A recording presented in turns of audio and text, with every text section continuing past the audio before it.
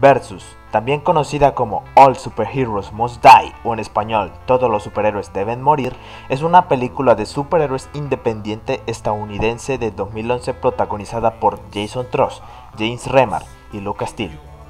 El rodaje tuvo lugar en Los Ángeles, California. Versus fue estrenada en Toronto, Ontario, en el Toronto After Dark Film Festival el 26 de octubre del 2011.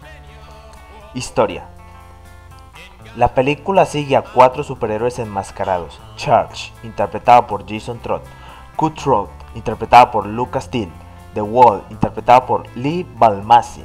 Y Shadow, interpretada por Sophie Merkley. Quienes se ven despojados de sus poderes por su archienemigo Show, interpretado por James Remar, a quien derrotaron años antes, o al menos eso pensaban.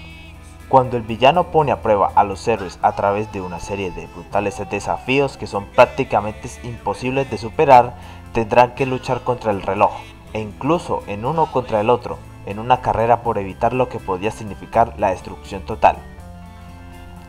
La película recibió abrumadoras críticas negativas, y bien que se las tiene merecidas.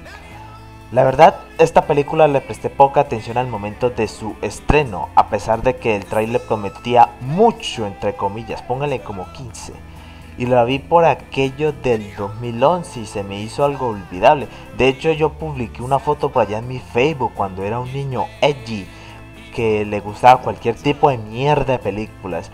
En fin, eh, se me hizo algo olvidable porque es malísima, más no poder. Recientemente se me dio por verla otra vez ya que la tengo pirateada. Y sigo con la misma opinión. La película es mala. No lo peor que hay en el, mundo del cine, pero sí algo olvidable y caquita, se puede decir. Falla en muchos aspectos. Historia, actuación y guion. Primeramente, su historia es absurdamente compleja tiene muchas cosas de las cuales no explica y siempre es incoherente en gran parte del desarrollo de la película. O sea, entiendo el hecho de que al ser una película independiente no contaba con un presupuesto más alto, pero es que ni hicieron ni un mínimo esfuerzo para hacerla un poco más emotiva, ya saben.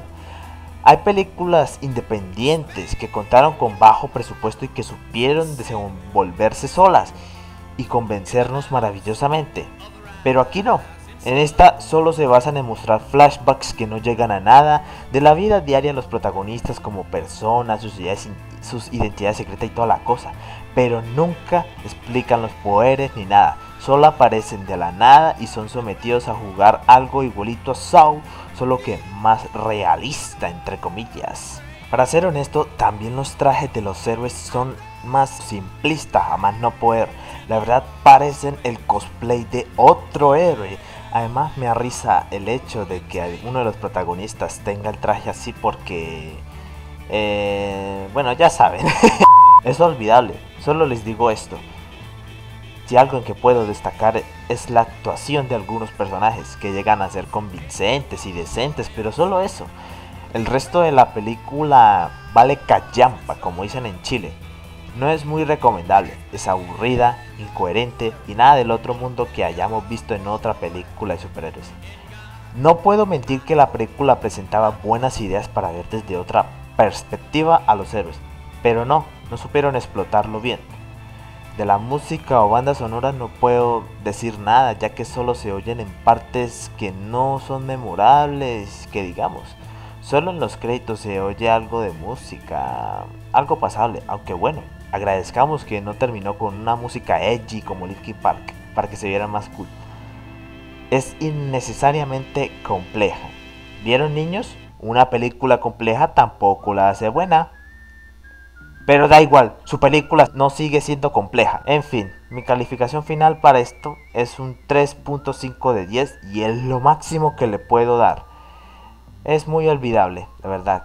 Eh, hasta aquí mi review sobre esta película. Pues la verdad me puse a, como ya dije, me puse a verla recientemente y no sé, quise darle una pequeña opinión y reseña. Así que hasta aquí lo dejo y hasta la próxima.